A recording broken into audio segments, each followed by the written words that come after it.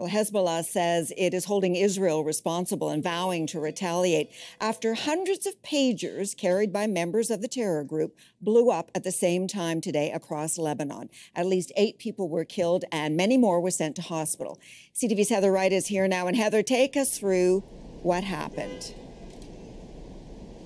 Well, Sandy, Hezbollah has called this a major security breach. Thousands of people injured in what appears to have been a highly coordinated attack.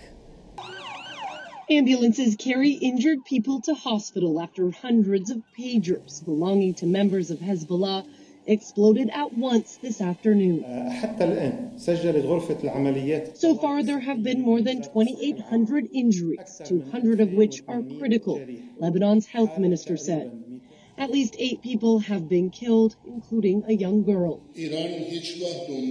Among those hurt, Iran's ambassador to Lebanon, who had, quote, slight injuries. Hezbollah operatives have reportedly used pagers to communicate for years. They are harder to track than modern cell phones, and messages are less likely to be intercepted.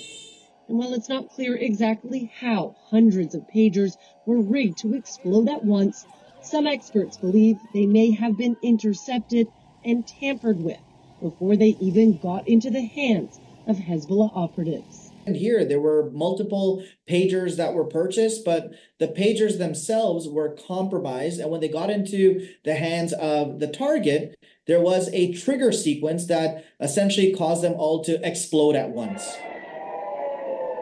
Israel and Hezbollah, the Iran backed militant group that controls large parts of southern Lebanon, have been trading cross border attacks, which have escalated over the last year.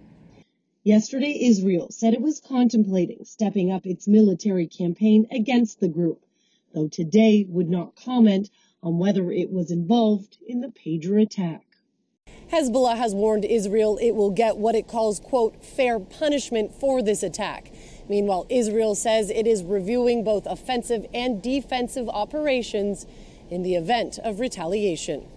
Sandy. CTV's Heather Wright.